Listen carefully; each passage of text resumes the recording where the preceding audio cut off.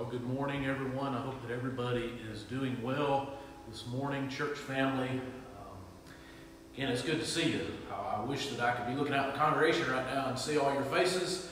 Um, but for now, we just thank the Lord that we have this, this technology to stay connected uh, through um, the Facebook. But I, I will tell you, while you're not here physically, uh, as I'm preaching, I'm just imagining each of your faces. I, I know where most of you you sit, and so uh, just know that as I'm I'm preaching, I'm seeing your faces. And for those of you who are who are joining us, who are not part of First Baptist uh, family, welcome. Thank you for joining us this morning as uh, as we as we set time aside to worship uh, the Lord. He is worthy of our worship, and we just want to celebrate and worship Him through singing, and in a few moments through the preaching of, God's Word. But before we start in our time of worship, I want to give a few uh, announcements for the church family. Obviously, uh, next Sunday is Easter Sunday, and the, the schedule that we had planned um, is, is going to be different unless God chooses this week to, to miraculously um, heal this, this virus, completely take it away next Sunday morning, we're still going to celebrate. We're still going to worship. Nothing changes the fact that Jesus Christ is alive.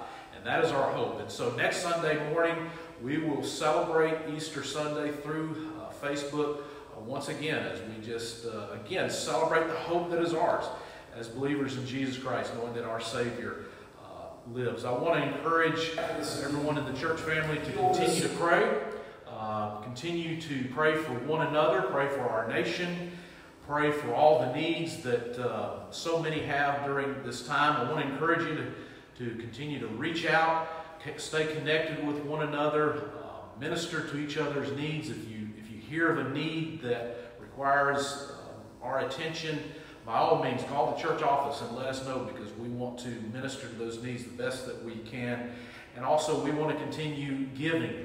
Uh, thank you for those of you who have been faithfully giving during this difficult time, but I just want to encourage you to continue to give your tithes and offerings so that we can continue ministry here at First Baptist uh, Church. Tonight, we will have our worship service again via uh, Facebook at 6 p.m., and then Wednesday evening, we'll have our Wednesday evening prayer service at 6.30 p.m. I apologize for those of you who, who logged on this past Wednesday at 6.30. We, we had some technical difficulties. Apologize about that, hopefully we've gotten all that uh, worked out. So this morning as we as we go to the Lord in prayer, I want us to remember to pray for several things. Obviously, we want to pray for our nation. We want to pray for healing upon our nation. We we are praying diligently for um, our doctors, nurses, all those who are working um, so tirelessly in, during this during this difficult time. We, we want to pray for the medical industry certainly want to pray for those who are sick. Not only do we have, obviously, many who've been infected by the virus, right now is a, is a difficult time. To, they say that this is, uh, this is one of the worst allergy seasons that we've had in a long time. And so, so many of us are, are battling allergies and, and other type illnesses. So we, we want to pray for healing. We want to pray for our leaders, our president, our governors, that they will have have wisdom and courage as they lead, and we pray that they will look to the Lord for their guidance as they lead us. Something else as I was thinking about uh, this morning is um, we want to pray for all of our students, our students and our, our teachers that have been affected uh, by this. This is a difficult and challenging time for them, and so remember them as you as you pray um, uh, in your devotional time. Pray for our students and pray for all of our teachers who are not able to have class right now. Also, we, we certainly are praying that during this, God would use this to bring revival and awakening to our churches and to our nation as a whole, so that God's great name would be glorified and shine brightly through this whole um, thing. Well, before we go to the Lord in prayer, I want to read a passage of Scripture out of the Gospel of Luke. This comes from Luke chapter 19, starting in verse 29 and through verse 40. This is, uh, this is Luke's account of the triumphal entry. This is what church calls Palm Sunday. This is the Sunday that we remember that final week of Jesus' life, and specifically on that, on that uh, Sunday when Jesus marched into, um, into Jerusalem, that final time. He didn't march in as a, as a commanding warrior, but he, he came in as a humble servant. And uh, so many things would happen on that final week of Jesus' life. And most importantly, we know that his death and his resurrection uh, would happen. And that's what gives us our hope, as, I, as I've already said. So listen to these words as I, as I read out of Luke. Luke chapter 19, verse 29. When he drew near to Bethphage and Bethany at the mount that is called Olivet, he sent two of the disciples, saying, Go into the village in front of you, where on entering you will find a colt tied on which no one has ever sat. Untie it and bring it here. If anyone asks you, Why are you untying it? you shall say this The Lord has need of it. So those who were sent away found it just as he had told them. And as they were untying the colt, his owner said to them, Why are you untying the colt? And they said, The Lord has need of it. And they brought it to Jesus, and throwing their cloaks on the colt, they set Jesus on it. And as he rode along, they spread their cloaks on the road. As he was drawing near already on the way down to Mount, the Mount of Olives, the whole multitude of his disciples began to rejoice and praise God with a loud voice for all the mighty works that they had seen, saying, Blessed is the King who comes in the name of the Lord, peace in heaven and glory in the highest. And some of the Pharisees in the crowd said to him, Teacher, rebuke your disciples. He answered, I tell you, if these were silent, the very stones would cry out. Let us pray. Lord, we thank you for this morning, this new day that you have given us. You've given us life so that once again we can live to accomplish your purpose so that we can live for your glory. And this morning, as we gather together corporately through this technology that you have blessed us with, we pray, Lord, that you would strengthen us, that you would encourage us, that you would challenge us in our faith. Lord, we want to pray for our nation. We continue to ask for healing upon our nation, for those who have been infected by the, the virus, and for so many others who are just battling other illnesses. Lord, we pray for their healing. Lord, we pray for our doctors, all the medical personnel, all the nurses. We thank you that, that they are working so hard to meet the needs of the people. And we just ask for your strength and blessing to be upon them. Lord, we pray for our leaders, Pray for our president, our governors.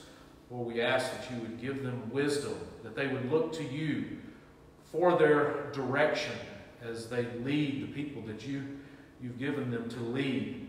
Uh, Lord, we, we pray, Father, that you would accomplish your will through this. Lord, we know that you have a purpose behind all things, and we know that you will work in every detail of our lives. And and Lord, we thank you that we can stand firmly and confidently today, knowing that you are on your throne and that your, your purposes and, and what, you, what you declare will happen will happen. And so may we stand firmly on that. And so, Lord, today as, as we worship you, we, we ask, Lord Jesus, that if there is anyone who's listening today who they don't have the hope of knowing Jesus Christ, as their Lord and as their Savior. I ask, Holy Spirit, that you would open their ears and open their eyes to the reality of the gospel, that today they would cry out to you. Lord, I pray for your church. I pray that you would encourage us as your church, that you would minister to us. I pray for the needs that, that we all have, Lord, those burdens, those private burdens that that we may be carrying, Lord. We cast them at your feet, and we thank, we're so thankful that you love us and that you care for us.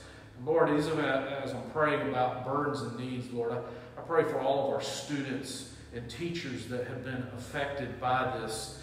Uh, Lord, I, I, just pray that you would help them through this challenging um, time and that they can quickly get back to pursuing their education Lord, we, we just ask, Father, that, uh, that you would glorify yourself through us that as your people, we would, we would be the people you've called us to be. You tell us in, your word that we're to be the salt and light in this world so that people ultimately will see Christ in us. And so, Lord, we give you this service. We pray that everything that happens here will bring glory and honor to your name. Lord, we love you and we thank you and we praise you and we ask these things in Jesus' name. Well, this time, Brother Mark is going to come and lead us in worship through song.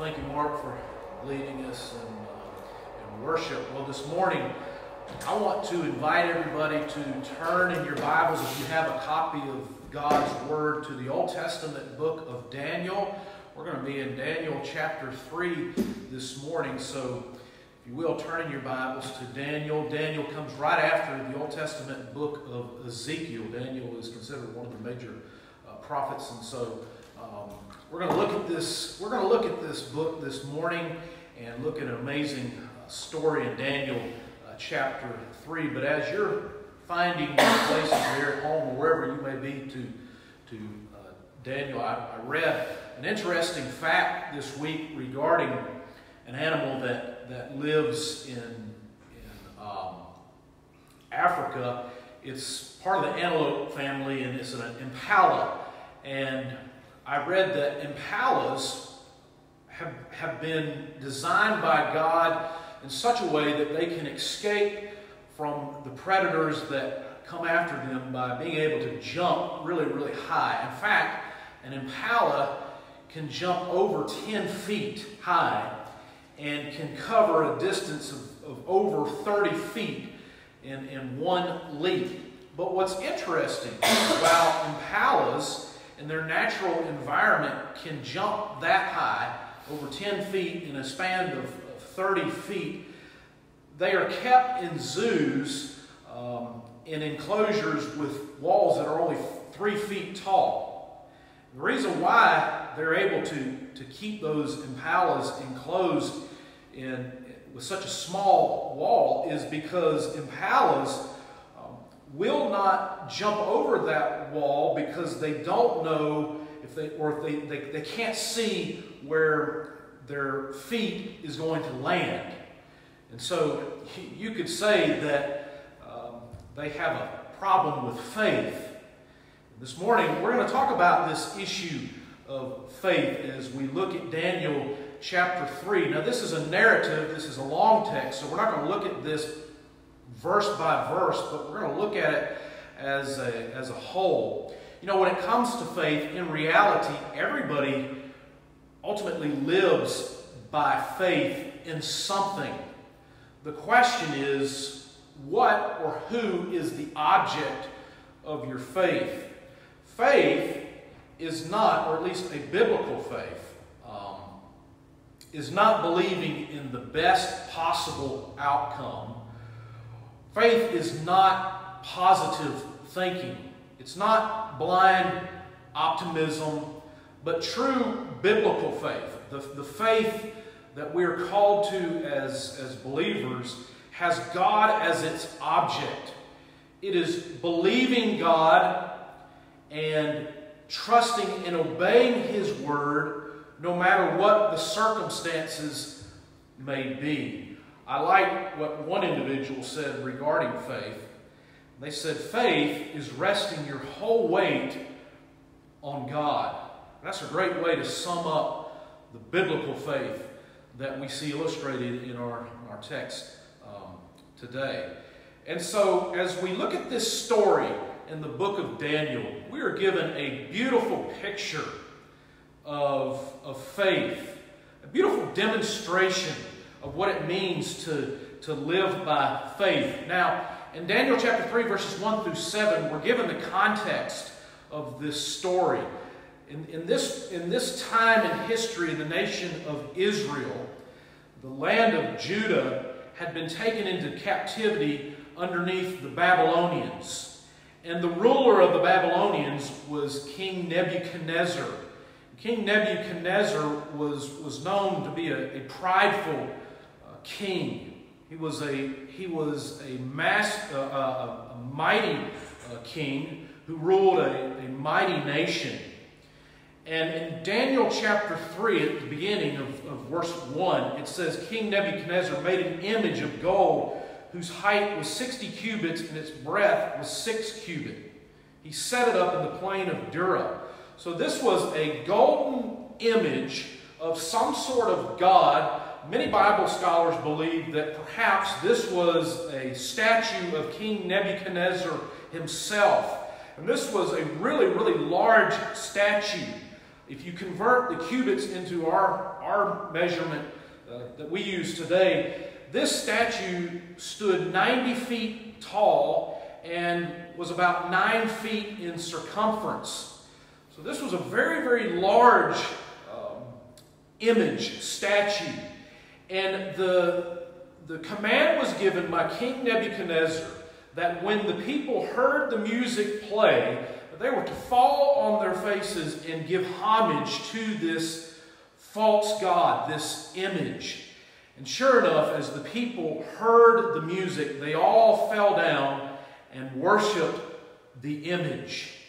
But we see in our text that there were three Jewish men who demonstrated amazing faith, while everybody else was following the king's command and giving homage to this false image. These three Jewish men held firm to their faith, and they, they demonstrated an unshakable faith. Now, when you, when you read the book of Daniel, so much emphasis is placed on the Old Testament prophet Daniel.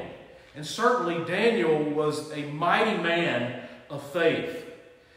But it's interesting to note that in this story, nowhere is Daniel mentioned at all. And that is certainly not by accident. I, believe that Daniel is left out of this story because God wants to make it clear that these three Jewish men, Shadrach, Meshach, and Abednego, stood on their own faith. They were not standing on the faith of Daniel. This was their own conviction. They had a, a, a solid conviction grounded in God's Word that there was only one true God, God Almighty. And so, as we study this story, that again gives us a, a wonderful illustration of what it means to walk by faith, the story really unfolds in four different sections. And so we're going to look at each one of these sections. And with each one of these sections, we find a different lesson on genuine biblical faith. So the first part of the story comes in verses 8 through 18. And that is where we find the unshakable faith of the men. The unshakable faith of the men. Now, we see in, in, in these verses that these men face a certain situation. There was a situation that they faced that challenged their faith.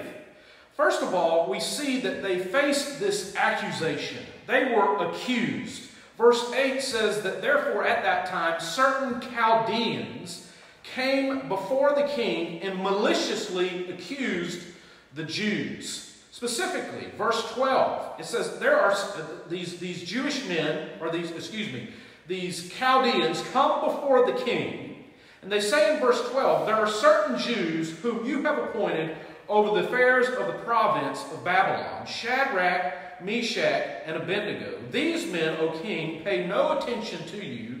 They do not deserve your gods or worship the golden image that you have set up. And so here are these Chaldeans. They come before Nebuchadnezzar, and of course, they're trying to kiss up to the king.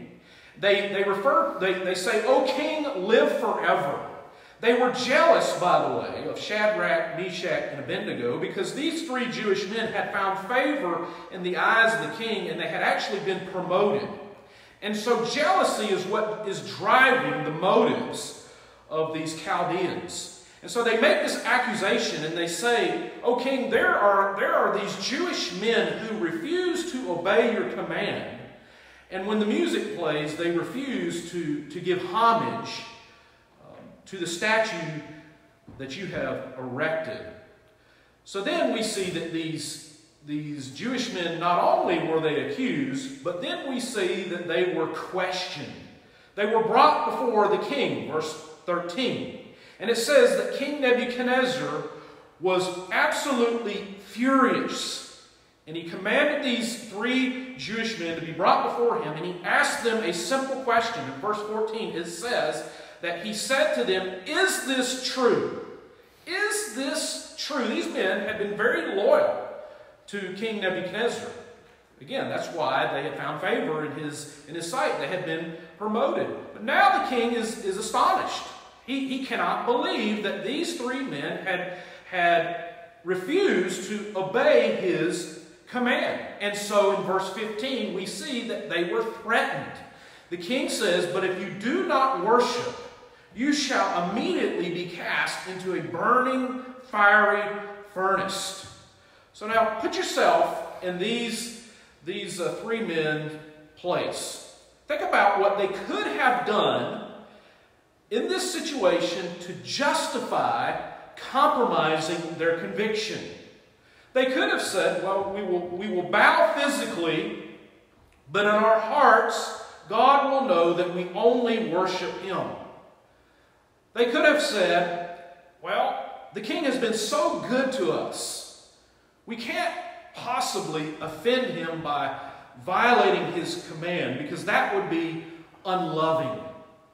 Or they could have said, well, well, God will forgive us because God knows the situation and He knows that we are only doing this because we are being forced against our wills. Or they could have said, well, Everybody else is doing it. So therefore, we need to do this as well. Or they could have justified bowing before the false idol by saying, if we don't, we will die. And, and, and God needs us to, to help the other Jewish people.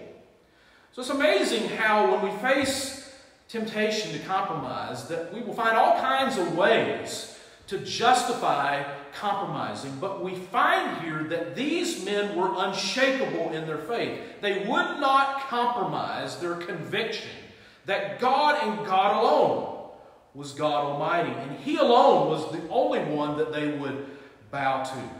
And so we see in verses 16 through 18 that these men take a stand. Listen to what the Bible says. It says, Shadrach, Meshach, and Abednego answered and said to the king, O Nebuchadnezzar, we have no need to answer you in this matter.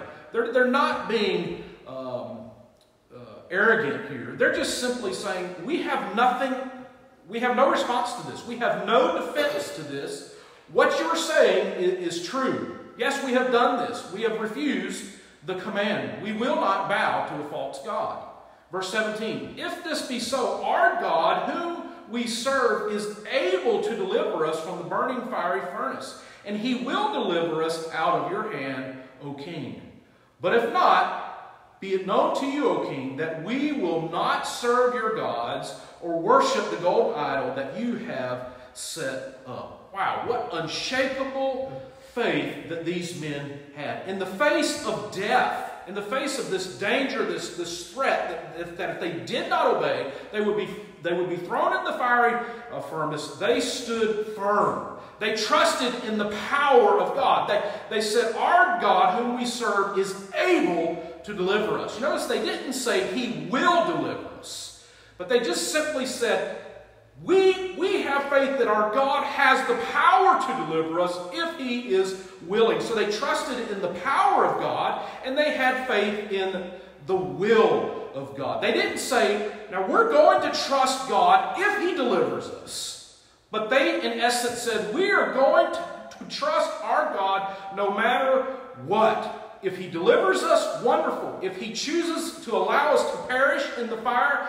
it's okay because we trust the will of the Lord. Their faith was not in their deliverance, but their faith was in their God. No matter what, they would trust God. Nothing could shake them from their faith in God.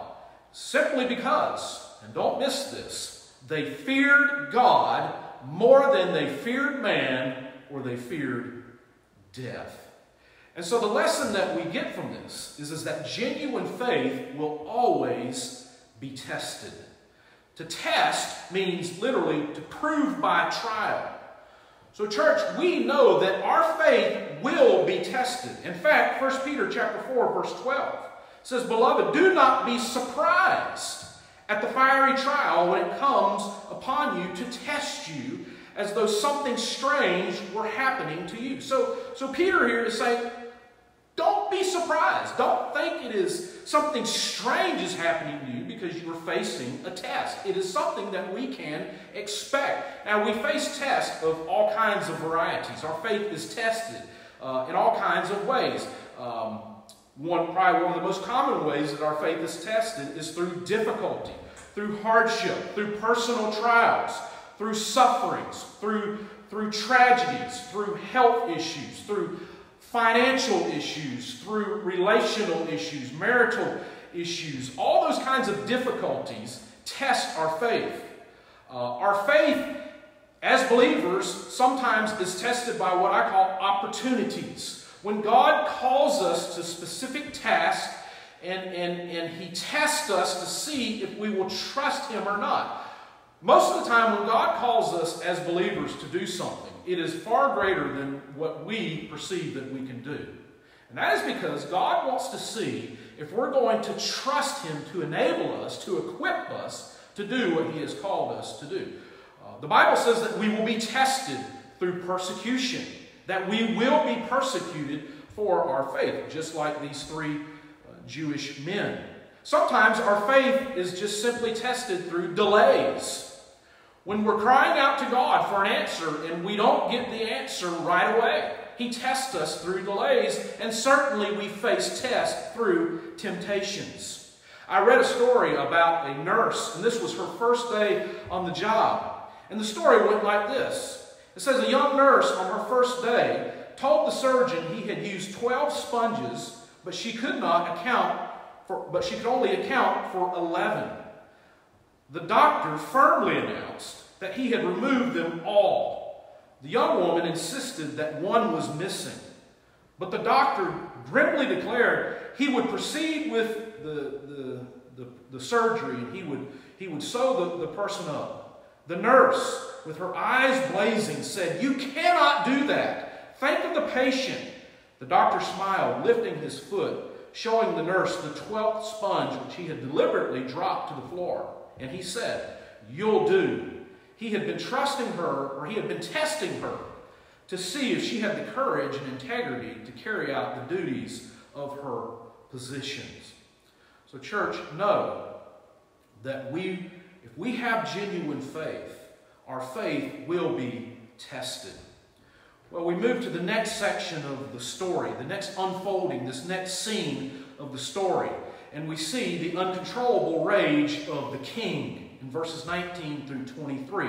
The uncontrollable rage of the king. We see the king, the king was absolutely filled with rage when these three Jewish men refused to bow to his image. He was filled with anger and rage. Verse 20 or verse 19 says, Then Nebuchadnezzar was filled with fury, so much that the expression of his face or his face even changed. So you could see the anger on his face.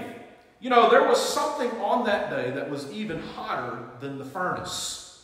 It was the face of the king. He was boiling, he was spewing with this uncontrolled anger. Not only did this king have a problem with, with ego and pride, but this king had a problem with uncontrolled anger. You know, when we are filled with uncontrolled anger, we do really foolish things. And, and we see in the story that the king, because he was filled with uncontrolled anger, he does some really foolish things. Listen to what it says that he, he did. It said that he ordered the furnace to be heated seven times more than it was usually heated. Now, think about this. He's wanting these men to suffer for their disobedience. Now, if he really wanted them to suffer for their disobedience, instead of heating the furnace up where they would be immediately incinerated and put out of their misery, it would have made more sense for him to cool the furnace down so that they would linger in their pain. But instead, because of his uncontrolled rage, he heats the furnace up. Says seven times hotter. In other words, as hot as they could possibly get it, he, he heated the furnace up. And then it says that he did something else very, very foolish. After he, he orders the, the furnace to be heated up, it says that he ordered some of the mighty men of his army to bind Shadrach, Meshach, and Abednego. They were left in their clothes. Again, he is, he is filled with uncontrolled anger here. Here's not, he's not going to wait. He's going to throw them in just as they are, right there. He throws them in with their, their, their tunics on, their clothes on, even their hats. They were bound together and they were thrown into the fiery furnace. And the Bible says that when the furnace door was opened, that the fire was so hot that his choice men lost their lives. Again, another very foolish thing. Some of his, some of his best warriors in his army, he killed because he was filled with this uncontrolled uh, range, uh, uh, rage and anger. So we see the king's anger but also, we see the faithful's suffering. They are thrown into the fiery furnace. And so, what do we, what do we learn from this? What is the second lesson that we learn about genuine faith? Well, genuine faith will always be afflicted, it will always be tested. But mark it down genuine faith will always be afflicted. There is no such thing, there is no teaching in the Bible that says that you can have, as followers of Christ, a pain free life. Mark it down. God never promises us that faith will guard us from pain. But instead, He allows us to be afflicted because He uses our affliction in order to grow us as followers of Christ. Job, in Job 13, verse 15, said this Though he slay me, I will hope in him. So we see here that no matter what God allowed these men to, be, to, to face, no matter what affliction these men would face, these men's faith would grow through the affliction. And we know that while we are promised that our faith will be tested and that we will be afflicted for our faith, we know that no affliction can come to us unless it first passes through the sovereign hands of God. So, in other words, while God allows affliction in our lives, affliction has to get God's permission first. Well, now let's move to the, to the third scene in our story. So, so we've seen the unshakable faith of the men. We've seen the uncontrollable rage of the king. Now, in verses 24 through 25, we see the unmistakable hand of the Lord. When the, when the three men are thrown into the fiery furnace, some things happen that, that is unmistakable not to see the hand of God. It is absolutely impossible not to see the hand of God at work uh, protecting these three men's lives. Notice what the text says in verse 24. It says, After the men had been thrown in the fiery furnace, verse 24, it says, Then King Nebuchadnezzar was astonished, and he rises up and he declares to his counselors, Did we not cast three men into the fire? To which they said, Yes, that is true. And then the king says, But I see four men unbound walking in the midst of the fire. There was a fourth man in the fire. Now, Bible scholars have, have speculated exactly who was the fourth man. Was it an angel of the Lord?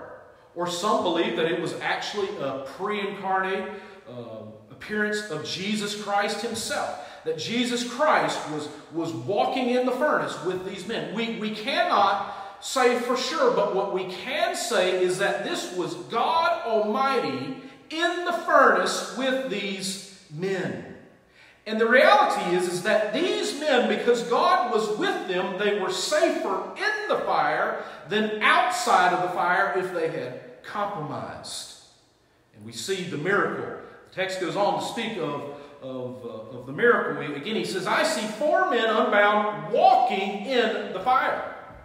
So these men are not lying down in fire, but they are walking around in the fire. So the unmistakable hand of the Lord. The Lord was with these men as they faced their affliction, as they faced the king's rage and the heat of the furnace. God Almighty was with them. And so here we find this third lesson on genuine faith, and that is this genuine faith will always be strengthened, or you could say genuine faith will always be purified. James chapter 1, verses 2 through 4 says, Consider it all joy, my brethren, when you encounter various trials, knowing that the testing of your faith produces endurance. And let endurance have its perfect result, so that you may be perfect and complete, lacking in nothing. So we know that while our faith will be tested and while our faith will be afflicted, we know that genuine faith will always be strengthened. It will always be purified. It will always be made stronger through the trials that we face.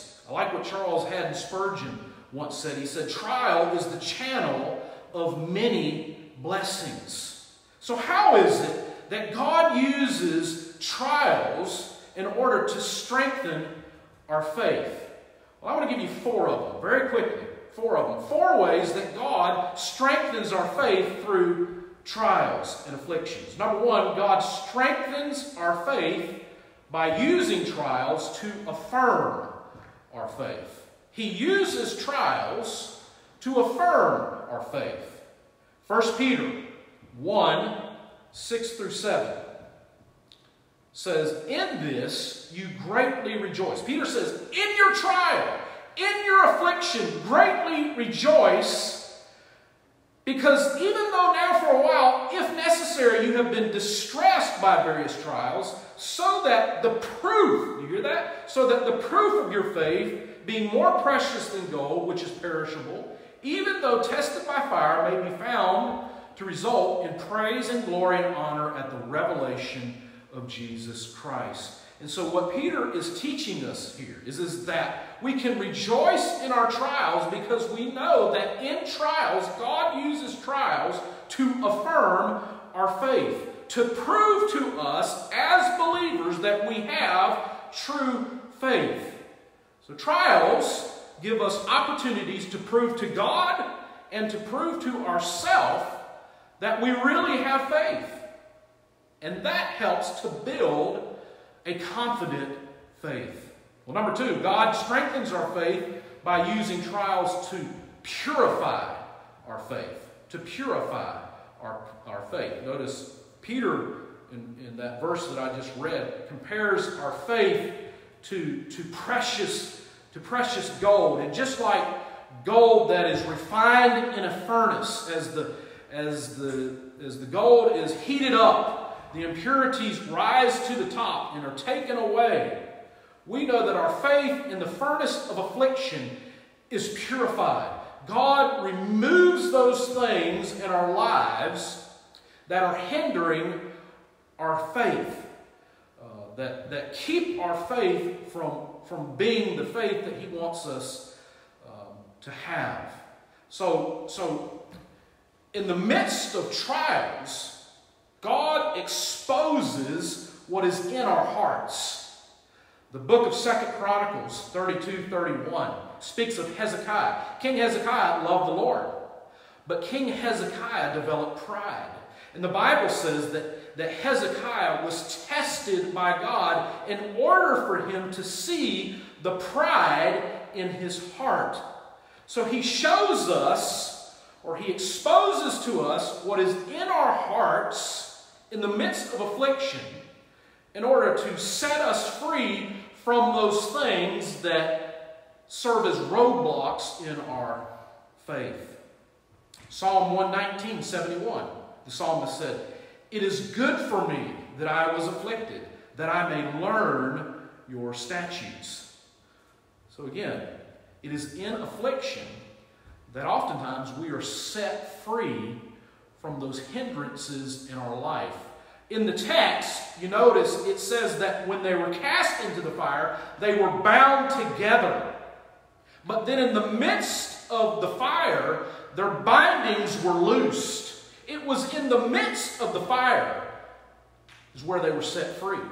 And so often, church, it is in the midst of the hottest furnaces of our life that God uses those difficult times in order to set us free.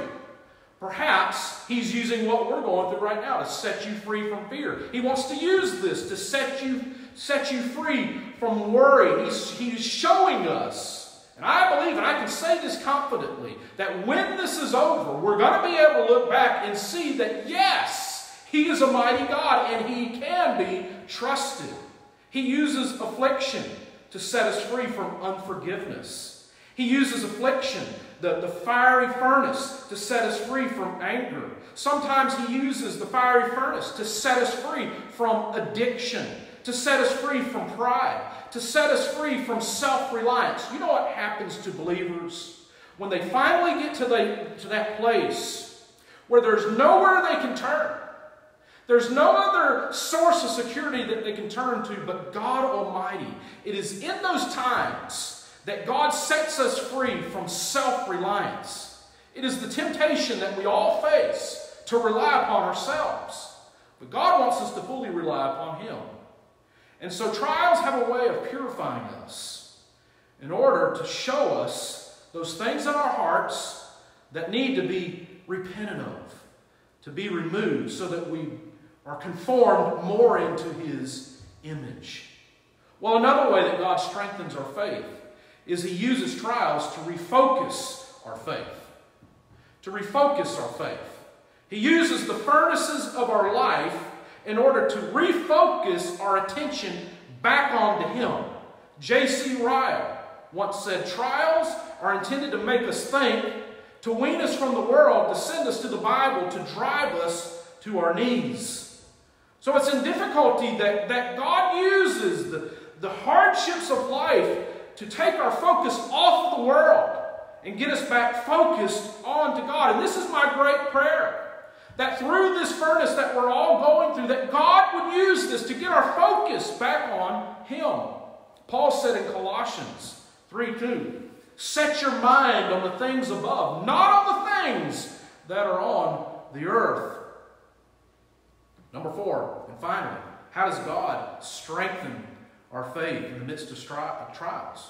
We strengthen our faith through trials by building our faith. Think about these men. These men went away from this experience knowing that God was with them no matter what. And you know what? There are things that we will go through that, that are so difficult and so hard that it is only as we face those times that we will, we will experience special grace that God will provide us unique to that situation that will carry us through. And after we've gone through it, then our faith will be strengthened as we experience that special grace.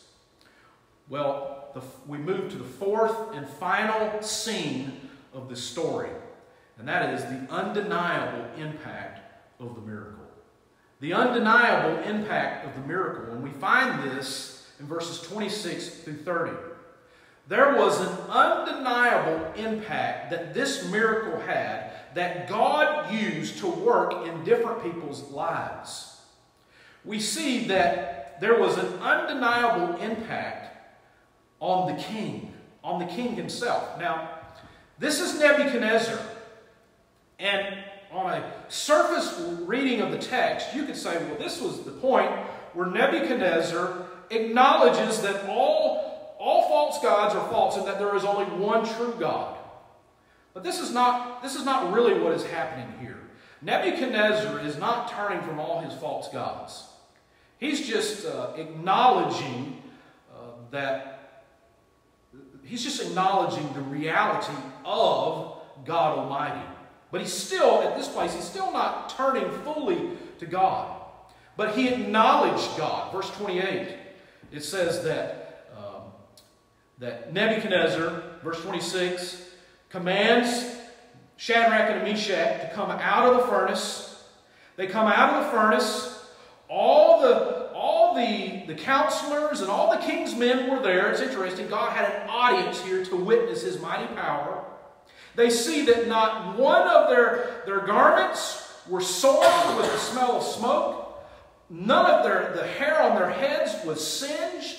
They were perfectly okay. In verse 28, God, or Nebuchadnezzar acknowledges God where he says, Blessed be the God of Shadrach, Meshach, and Abednego, who sent his angel and delivered his servants. He acknowledged God Almighty.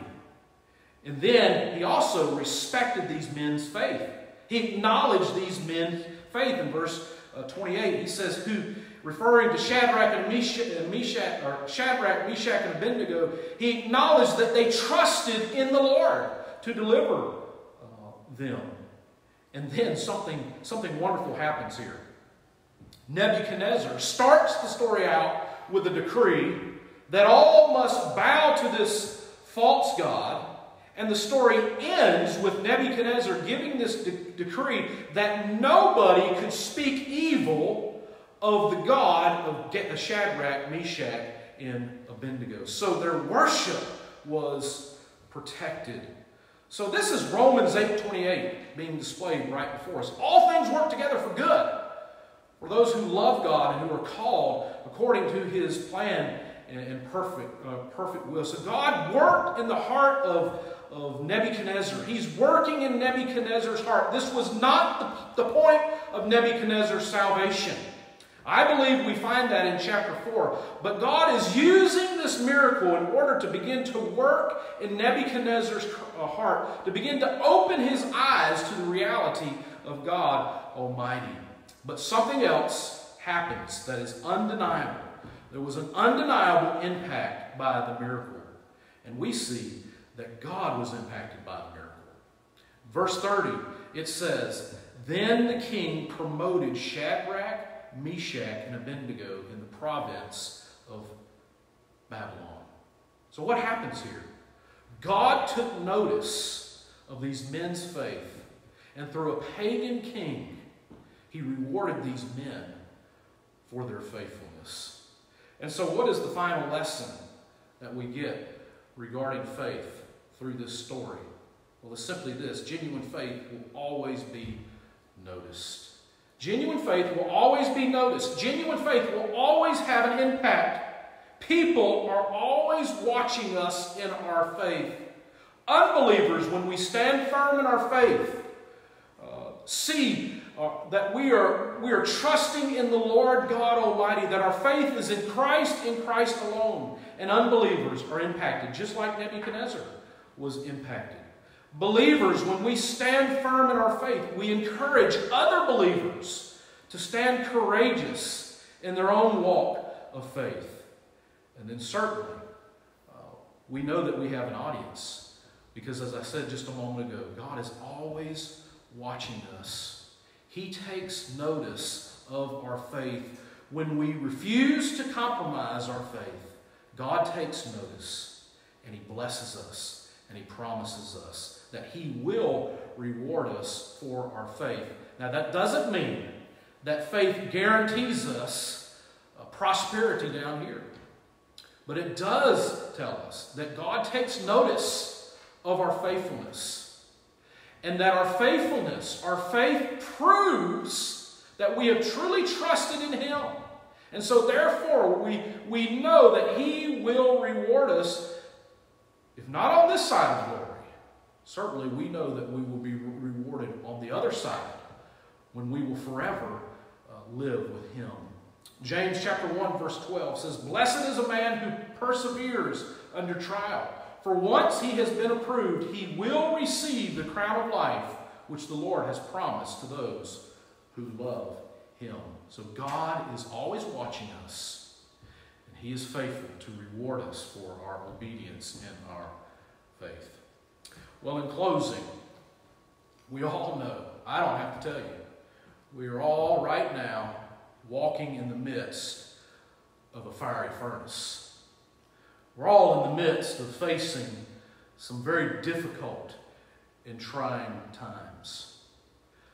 This story challenges us in our faith. How will we respond as we go through this difficult time? How will we respond in our faith? Uh, I, I believe this story challenges our faith. Will we stand firm and trust the Lord no matter what the outcome is? Will we allow this, this difficulty to, to be used by God to grow us, to purify us in this time? Church, we must embrace this difficulty. We must allow the Lord to use this to, to show us things in our lives that, that are, that are uh, hindering us in our faith. Will we allow God to use this furnace to draw us closer to Him, to strengthen our faith? Will we use this, this challenge, this difficulty, to be like Shadrach and Abednego and be different? And not be like so many in the world right now that are panicking. But this is a great opportunity for us to stand out and be different and not be like the world in panic, but allow the world to see us showing by action that we truly trust God, that He, he can be trusted. This is a challenge. It is a comfort. This story reminds us that as we go through this fiery furnace, He is with us. He walks with us wherever we go, and He will use this somehow to do great things. I have no doubt that if we will allow God, and I, and I use that term very, very loosely, but uh, very carefully, but if, if we will allow God to use this, this difficulty, He will come out stronger in the end. If, if we will take advantage of this opportunity that we are facing. And maybe today, this story convicts you because you don't know if you have faith. You know, the, the walk of faith starts with saving faith. And what is saving faith? Well, it's coming to that place in life where you recognize that you've already you've already um, caught the disease. There is a disease that all of us have, and that's the disease called sin.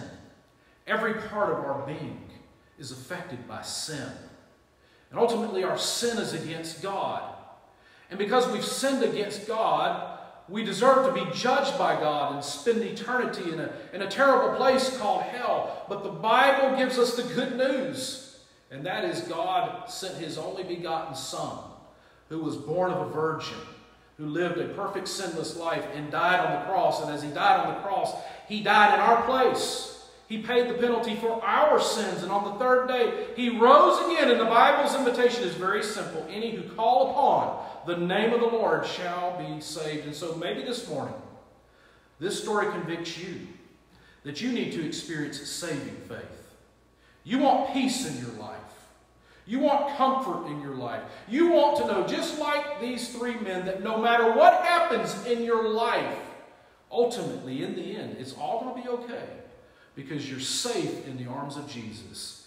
And you can have that assurance by crying out to Jesus, by placing your faith in Jesus Christ. Well, I'm going to pray, and then we'll be through. Father, Lord Jesus, we thank you for this great story of faith through the lives of these three Jewish men. Lord, we thank you for their faith. We thank you for their courageous stand. We thank you that no matter what they were, they were threatened with, even their own lives, they refused to bow to a false God. Lord, give us that kind of faith. And Lord, we thank you that you allow trials in our lives to, to grow us, to use us, to demonstrate faith to, to others. Lord, we thank you that when we stand confidently in our faith, others are encouraged in their faith. And so, Lord, we thank you. Lord, may we take advantage of this time, this opportunity as we're walking through this fiery furnace. May we grow through the furnace. And Lord, perhaps there are some that right now, under the sound of my voice, their greatest need is they need to be saved. Oh, Lord Jesus, I pray that they would cry out to you by faith today, that they would surrender their hearts and their lives to you to be the Lord of their lives. And then they can begin walking on this journey of faith. Lord, we love you, we thank you, and we praise you, and we ask these things in Jesus' name, amen.